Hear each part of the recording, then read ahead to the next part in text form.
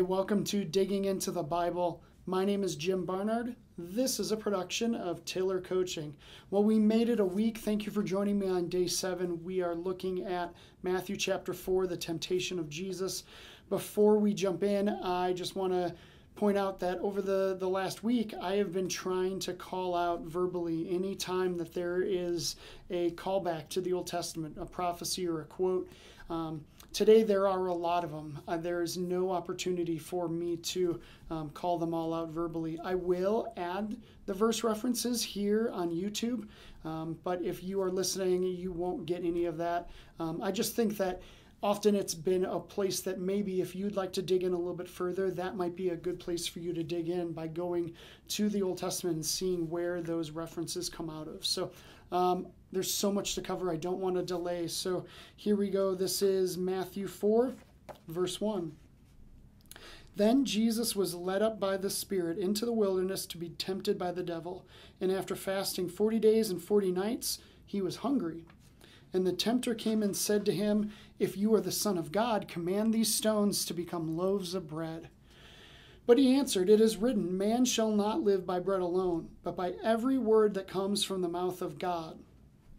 Then the devil took him to the holy city and set him on the pinnacle of the temple, and said to him, If you are the Son of God, throw yourself down, for it is written, He will command His angels concerning you, and on their hands they will bear you up, lest you strike your foot against a stone. Jesus said to him, Again it is written, You shall not put the Lord your God to the test. Again the devil took him to a very high mountain and showed him all the kingdoms of the world and their glory. And he said to him, All these I will give to you if you will fall down and worship me. Then Jesus said to him, Be gone, Satan, for it is written, You shall worship the Lord your God, and him only shall you serve. Then the devil left him, and behold, angels came and were ministering to him. I find this dialogue so interesting between Jesus and Satan.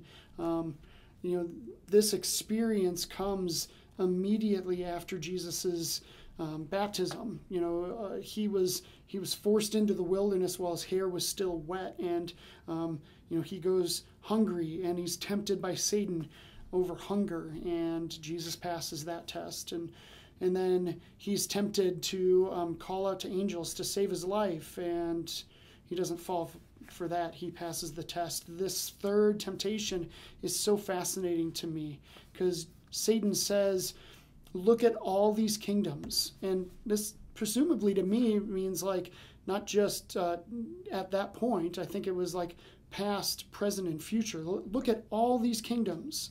And, you know, what is the asset of a kingdom? Truly. It, it is people. And people are the reason that Jesus came. Jesus is desperate for people. And so Satan is giving him the ultimate temptation of you, you, can, you can be with your people here and now. You know, one thing I think is true is that, um, you know, Jesus doesn't have his people now. You know, like truly he doesn't have all of them. He wants them, but he, he can't have them now because he doesn't have dominion over this world. At the fall in Genesis, Satan became the, the ruler and the reigner of this world. You know, I, I, I can think of all the craziness that's happening in this world and, and say, well, Satan, that's on you. You have dominion of this world now. Um, you know, Jesus has dominion of, of the eternal, but not this world. He's, he's given that up. And so Satan is basically saying, you don't have to wait for the then and there of heaven. You can have these people here and now. You will, can be their ruler. I'll go away.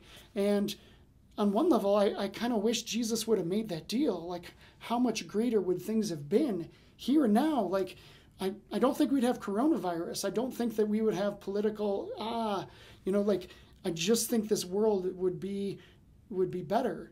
The problem is, is that Jesus needed to go to the cross. Sin had been enacted.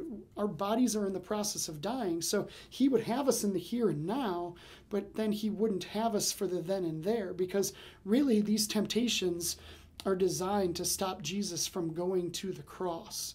You know, Satan can't just stop the cross from happening. But I think what he's trying to do is stop um, Jesus from being the perfect sacrifice that he is. Knowing that that would crumble the whole system.